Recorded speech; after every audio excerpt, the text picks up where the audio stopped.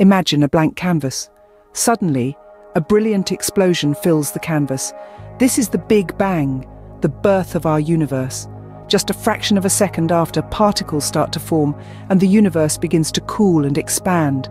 Fast forward several hundred thousand years, and the first galaxies and stars begin to take shape. These stars live, burn, and eventually die, often in spectacular supernova explosions.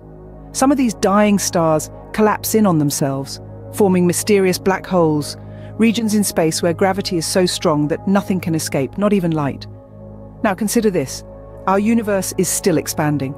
Will it continue to do so indefinitely, or will it one day collapse in on itself or freeze? The future remains as mysterious as the moment of creation itself.